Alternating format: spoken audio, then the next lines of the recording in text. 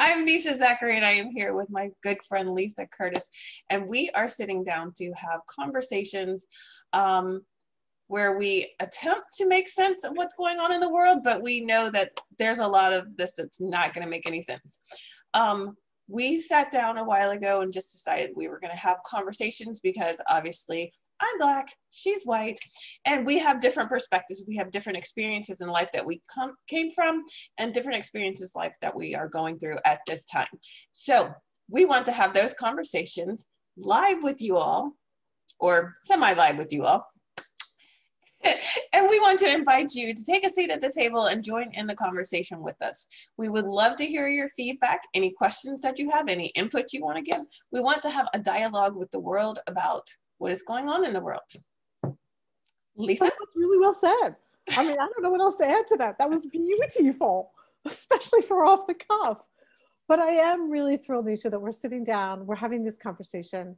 Um, you know, because we, you and I have been talking about this stuff for years now, and yeah. we bring such interesting points of view and experiences that, you know, you know, I, I've told you several times, you've just blown my mind away, things I had never thought of right. Um, and that i just find to be incredibly helpful to to begin to put into my my repertoire of just experience. And so i begin to maybe i can't possibly make sense of some of this crap that's going on but i can begin i think i hope we can begin as a collective to talk through some of it so that it's not so damaging to our mental health which is one of the things that you know is a cornerstone of what I do. I just, we have so many things that happen in this world that are so traumatic and so awful that we keep raising humans, young people that turn into people who are going to support us on Social Security, oh God. who are traumatized. and that's got to just stop. It's got to stop yeah it does. And i think that's um, one of the things that i love about the way we have conversations because i am a mother of three. You are a mother of a cat. And you know again like whether you have have children or don't have children just like you just said they're all going to eventually be deciding our fate. So it's like how we raise them is how they're going to treat us when that time comes and if they're totally confused, then we're all screwed. yeah, yeah. I, and you know, I think not only are are we screwed from the point of view of like what's going to happen to us individually, but again, as that collective, you know, right. the more people that are walking around with questions or fears or concerns, the more we're just going to perpetuate some of this stuff. Right. That that's just not acceptable you know, I was thinking yesterday about that article you and I. So we should maybe preface this part. One of the pieces that we wanted to do, you and I had talked about, right. is putting out some articles beforehand because one of the things that we've been doing for a couple of years now is, hey, did you see? Did you read? And sharing articles back and forth, mm-hmm. or podcasts, or whatever we happen to run across. Um, and we would love for you guys who are listening or watching to follow along with us. And we'll try to get those articles listed before we release this conversation. Um, but I was thinking specifically about that article that we read about the um, the young woman down in I don't remember exactly where, but she her valedictorian status was challenged. Yes, I think that's down in I know it's in the south somewhere. Can't remember either. And how how it ended up being that they named two salutatorians and two valedictorians and gee whiz, one of them was black and one of them was white. And, right. Um, how the school district didn't even have the courtesy to talk to the original valedictorian and her family before mm-hmm. they named a co-valedictorian the day of graduation. Right. Um, you know, just what what message are we sending these young people? What are we sending? What message are we sending her? Exactly. And I think the part that just blew my mind out. So I just looked it up. It's Mississippi. And one of the things that I just could not wrap my head around is like we just went through 2020 with all the things that have happened in the last year. Like it's literally been a year um, from George Floyd to now. And there's still this mentality that black people can't like be at the top. And it's not even a matter of, you know, give us affirmative action or anything. Nobody's asking you to give anything. Like this girl earned it. But because there are some people within the system who have been indoctrinated into whatever, it's not possible. This isn't possible for these th- kind of things to happen. Like, why is that? I don't get it. Yeah. How, how did that possibly happen that she could have worked? Right. I mean, being a valedictorian is not a cakewalk. No. we spent a lot of years working really hard. So is that the message that we're sending her is that, gee, the work you did wasn't fair or wasn't right, or you didn't work hard enough in the right enough subjects, or the one thing that you really can't control, the fact that you were born black, mm-hmm. that now weighs against the fact that you took AP classes and advanced standing yep. whatevers. And I remember my fifth grade teacher, and I still remember it to this day. She told me, You are going to have to work twice as hard to be considered half as good. And so if she made it to valedictorian, she did more than twice as much to be considered, you know, half you know, as good above everybody else. There's no way that she could have done half of what you know anybody else did and gotten to that point as a black woman. That's just not a thing. The other, you know, we talked about your fifth grade teacher before, and she, you know, what a powerful message to have given you. Accurate, unfortunately, but mm-hmm. but powerful. The other thing we're missing in this conversation, or in the conversation about the valedictorians, because there's this this young woman isn't the only one. There was a right. whole piece in the New York Times the other day. Mm-hmm. Um, we're not talking about the fact that she got straight A's in phys ed and in chorus. Right and i think that's also getting lost in the mix. Again going back to you know twice as hard for you know half the credit. Mm-hmm. she as you just said she obviously took the toughest of the tough classes. Right. And must have done well. But going back, so we've had a, an entire year of virtual school, which was already difficult. and then these kids, you know, they go through all this. So going into next year, how do you convince a child that it's even worth it to try? Like we've already had a crap year. People that did try, you know, either got rewarded and had it taken away in some manner, or they didn't receive anything at all. Right. Like, how do you convince a child, like going back into the system, that it's worth it? and especially when you so you've got you know you thankfully your oldest one is already out of high school. Thank god. You know but you still you do you have two little ones that are are you know just starting their elementary school careers. Mm-hmm. and again same question. Yeah how do we convince them? So if we you know one of the things we've also been talking about is the maslow's maslow's um, hierarchy of needs Right. And he talks about how you have to have some basic needs met before you can get to higher callings, let's just say for right now. Mm-hmm. And you and I are going to talk more about that, I know, because we talk about it all the time. Yes. but if we think about the basics here, these kids know how to go to school. They've now mastered online education. Mm-hmm. As parents, you guys have mastered the art of juggling 50 things at once. Right. so we're telling them now what? The efforts that you did at home last year might not be enough. Mm-hmm. You didn't learn enough, or you've ba- you've slid so far back in your academic careers. That's what it sounds like.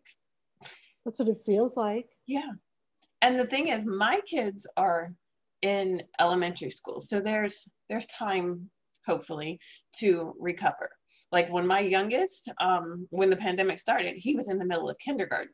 So this last year has been a struggle trying to like do the reading and the writing and stuff. But these are kids that are on their way out. These kids that are going that we're discussing like with the new york times these are kids that are on their way out. So they put in all of the hard work. And just because the color of their skin combined with a pandemic and parents who you know have taught their children a sense of entitlement and now are afraid that entitlement will be taken away by somebody who's not qualified that they don't deem as worthy like uh, obviously we know she's qualified. We know that the salutatorian also was qualified but because they were deemed unworthy it it's just ridiculous that you know they put in all the hard work. They've done they were able to do this in a pandemic so i was just going to point that out you know where this also the pandemic and the online learning has furthered the divide between the haves and the have nots right so this young woman in mississippi and the salutatorian you're right they obviously persevered through mm-hmm. potentially not having wi-fi service potentially not having ideal conditions to work in they might right. have had you know the most optimal conditions and yet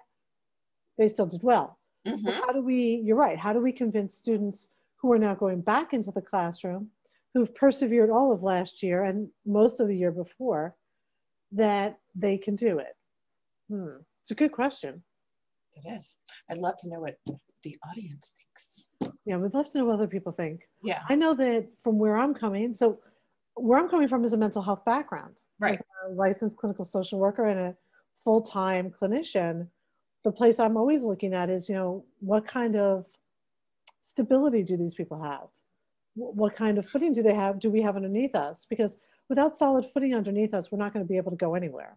Right. Regardless of any other factor. Mm-hmm.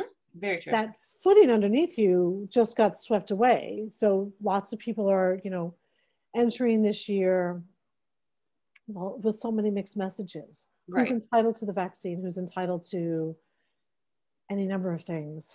Who's entitled to good Wi-Fi connection? Yeah, something as simple that most of us take for granted, and it's not a simple thing for a lot of people. Yeah, and those kids who, you know, the school. I don't know if you know up up in some of the parts. I don't know down in some parts of the South and some parts of the Upper Plains states, um, school districts were outfitting their school buses with Wi-Fi and then sort of dropping their school buses off in central locations. Oh, so wow. the kids can go to those central locations and get the Wi-Fi off off of the cell tower that was really the school bus. That's awesome. I mean, yeah. it's sad that like, you know, it took this to get the, you know, the access to the kids, but at least they have it now. At least they have it now. But again, what are we what are we telling them? go back to school and if you don't have wi-fi at home we're not going to provide it this year we're not going to provide you with extra resources to catch up over the summer so sorry that maybe you have to work this summer and you won't be able to access the resources that we have provided that's a good question because i know here um, the kids were able to keep their laptops and ipads for for the summer mm-hmm. and they mm-hmm. have access to a few of the different resources so um, like they my littles have imagine learning and imagine math. So they have like the reading and math covered. And then there's a book section where they can like get new books. So kind of like an online library and they can exchange books.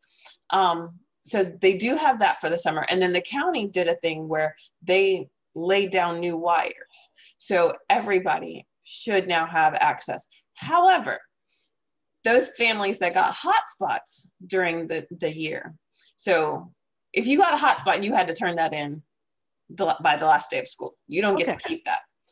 Um, so if your family wasn't one that was able to get access because we live in a rural rural area with the farms and stuff like that um, and some people who even don't live on farms are out in that area so they don't have access so those people you better hope you did really well in the school year because the summer slump is like you know it's not it's can't be real for you because you can't yeah. get access to Wi-Fi unless you can find a way to the library, which is a whole nother issue.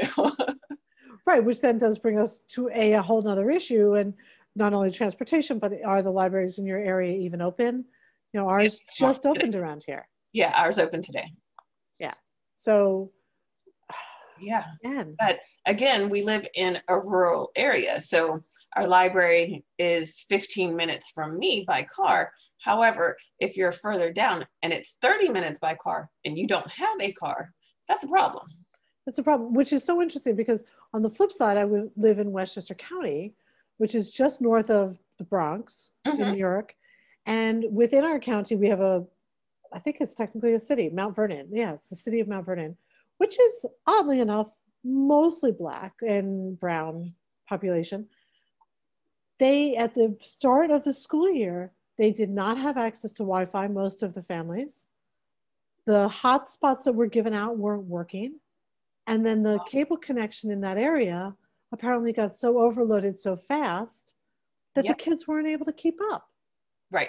So now, then the school district was faced with, well, how do we meet their needs? Well, we opened the building, okay, but only two kids are coming in per classroom because most of the kids are either unaware or afraid or their parents don't want to take the chance. hmm Lots of super legit reasons. But again, now those kids are behind Right. and they're at this massive disadvantage just because of where they live. Right. And again that goes back to like you were saying earlier about the the equity of who gets the vaccination who gets wi-fi who gets food Who gets because if you're you know too far from a grocery store that's actually got stuff because i know like our local grocery store has been getting filled recently but i know that there are some places where the shelves are completely clean. And it's like we're at, back at the start of the pandemic all over again. There's not enough food to go around for everybody depending on where you are and how close you are on the transportation routes. And also depending on what your economic exactly. system was like beforehand. So if you were already struggling, Mhm. your parents were relying on, you know, the free breakfast, free lunch, free Right. weekend meals, and now those are either difficult to obtain or you have to go to the school to pick them up. Going back to your point, okay, you're only 15 minutes away or 10 minutes away by by car. Right. But if you have to walk that and you're walking back a week's worth of lunch for your one or two or three or four or five kids, right it's Are you able to do several grocery bags that's what Yeah. they're what they're doing too. and in the middle of a heat wave that we just Right. broke out of. Oh gosh, no. We are at actually I think it's gonna cool off today because I think we're having like a little bit of rain coming in. Thank God. What's your definition of cool? Because I woke up this morning and I thought, oh, it's going to be cool. And the kitchen registered at 81 degrees. And I was like, this is not cool. Yeah, that's about where we are, but it's not 90. It's not 100. So I love I'm you. Always looking at the good stuff. It's not 100. No, yesterday I got in the car and it was like 102 degrees. So I'm like, it's 80 degrees. We're having a cool day. Yes. Good point. Yes, we are. So, in the weeks ahead, I know that you and I talked about we want to work on talking about um, Maslow, variations of Maslow, Mhm. and then some different racial issues that have been popping up. Let me rephrase that because they haven't been popping up. They've always been there, but we're finally giving them the attention that they deserve. Right. And I think that's really cool. So I, I know I sent you a link. I have to listen to it myself on the Brian Lehrer show. Mhm. Um, there was something recently about the Olympic athlete, um, the hammer thrower. Yes. That's what I Who was. even because I Yeah. my That's a whole her back. that I really need to wrap my head around because if people like people get so upset about the national anthem and it's like do you know what those verses say? Do you know what they mean for black people who know what their ancestors had to go through? Like all of that song has nothing to do with freedom and liberty and and justice for all. Exactly, because there is no justice for the people that were enslaved during the time that it was written. Yep. The other part I find so interesting about this is that that woman wasn't. She was not being disrespectful. She was No. simply asking for people to take a listen and and to think about what it is that was being said. Uh-huh. just asking you to pay attention. And somehow she needs to be attacked. Yes, because she disrespected the flag. And that's another thing that people don't understand. Like kneeling for the flag and not doing the uh, Star Spangled Banner, or, like they have nothing to do with your love for your home country. It's not about the military. It has nothing to do with any about any of that. It's the racist institution in which we live in. And do you know what's so interesting about the kneeling for the flag? Colin Kaepernick consulted with Exactly. gazillions of people before he decided what form his protest was going to take. Right. And the military, the gentleman that he talked to was the one that said, this is the most respectful way to do it. It And makes no sense.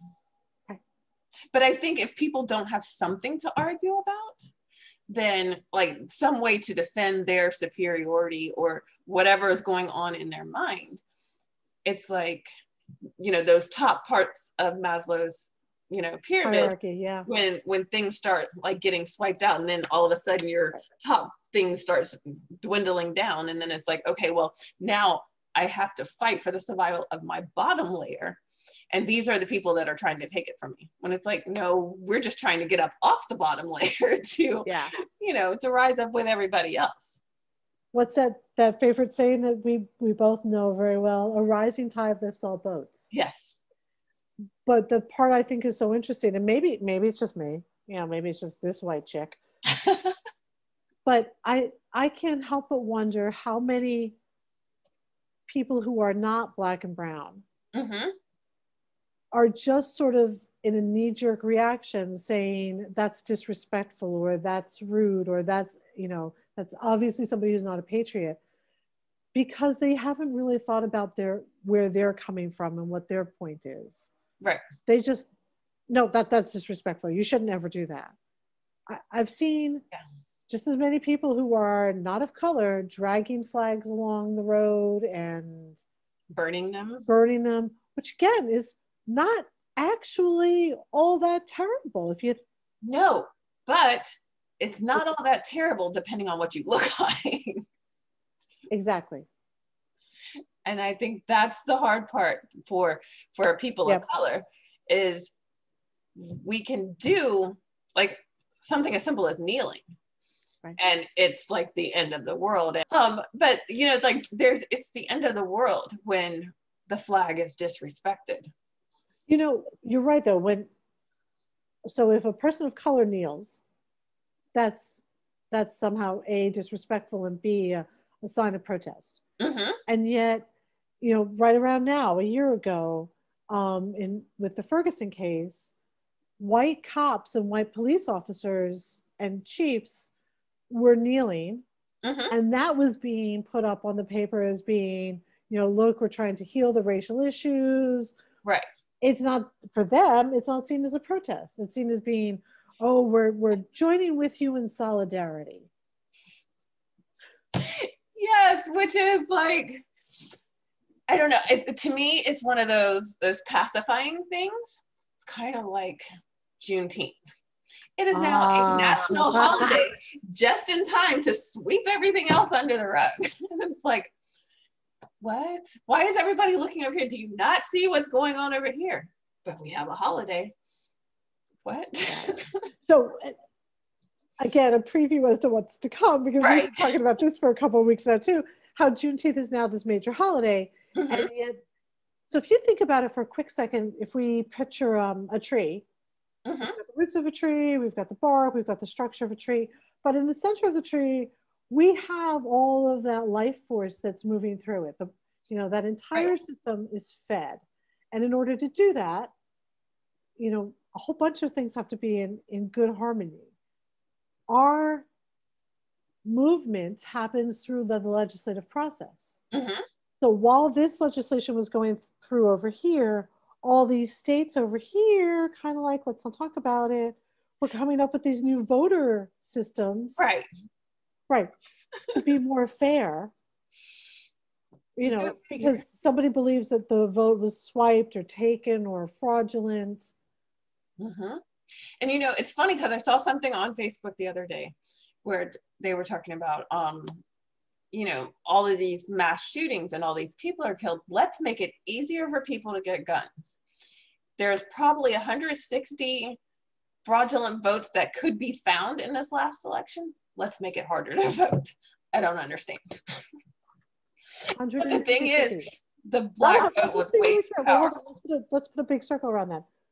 160 something, plain 160. So 160.00, hmm not 160,000, Right. not 160 million. Right. 160, less than 200 fraudulent votes. hmm And now we're going to make it harder. Right. Because the outcome wasn't what you wanted, which goes back to the valedictorian situation. When the outcome is not what the people in power want, and this is the epitome, I think, of what people are talking about with white supremacy. It's when the people in power, who are mostly white, are not able to get their way, we have to change the rules in order for them to catch up to play the game. Yeah. It makes no sense, especially considering the number of children that we have lost in mass shootings. Right. The number of, you know, whether it's men, women, children, whatever, but the number of innocent people. Right. You know, like in their homes. It's right. Kids who happen to be out on the sidewalk. Exactly. Exactly. Yeah. And it's there's there's all these things going on. But again, we'll give you a holiday and we'll just have you look over here while we're doing all these things over here. And it just makes no sense. And I think the whole political system is a bunch of smoke and mirrors. It is, which reminds me of um, I remember one of one of the people I work with, one of my guys, once talking about how so a lot, you know, you and I know um, a lot of the people I work with are firefighters, mm-hmm. and he was enraged because he they had just pulled up to this building and somebody was outside screaming about how you know there was this huge fire. Oh my god oh my god you got to go you got to go you got to get in. And he looked up and you know he had enough experience to know that was a bathroom window. That was steam coming out of that window not smoke. Hmm. and yes he was still going to go and still going to investigate and still going to make sure. But there was you know, the thing that made him crazy was all these people out on the sidewalk screaming about how they weren't moving fast enough with no understanding of a whole lot of things, including the fact that an experienced eye knows what you're looking for. Mm-hmm. And going back to your smoke and mirrors, we do. We spend a lot of time looking at the mirrors, both because we want to see the shiny things and we want to see how gorgeous and amazing we look. Mm-hmm and we don't want to look at what's happening underneath all that smoke. Right. Because where there's smoke there's fire and we cannot you know and that's the thing like your firefighter he knows the difference between smoke and steam. A lot of people don't know the difference. Yep. So and they also don't understand that really honest to god where there is smoke there is a fire. There is something to pay attention to. Right. So again let's look over here juneteenth. Yes because you know it's it's all pretty and like you said you've got the shiny things but when you when you start to look it's like is this a funhouse mirror or is this like a regular mirror? Is it actually reflecting back what's in front of it? And i think as long as people see like the shine and the glimmer and they're okay with what's in the mirror you know it's like right. a one foot view of what's going on right here right now I don't need to worry about everything else. If somebody else is distorted, it's okay. Because I look good. exactly. I'm okay. Are you okay? All right. So more of this to come. Yes. Yeah. Most definitely. This was awesome. This was awesome. Listen, so since we weren't able to sort of join you live or you weren't able to join us live, um, we will pop back into the chat. So please feel free to drop us any questions, concerns. If you've got a topic that you want us to chat about, please leave yes. it in the, the, chat box as well. Okay. Cool. Exactly. And we are always looking for new articles, so we would love for you to yeah, go ahead. Share some with us. um, okay. So see you later. Bye. Bye.